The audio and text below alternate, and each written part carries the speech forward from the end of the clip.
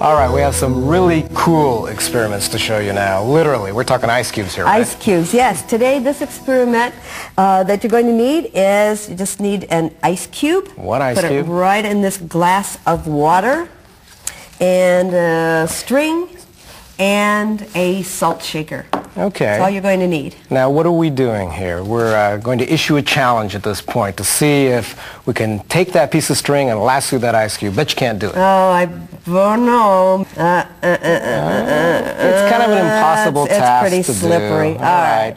So what you do, instead of trying to lasso it, now that you have the string all nice and wet, Mm-hmm. just lay it across the, type of the top of the ice cube, sprinkle some salt on it. It's melting. Yeah, And that's, that's really the key of this experiment, right? Mm-hmm. that's exactly right. And give it a minute, and then you can, ta-da, All right. lift it right out. So what happens here?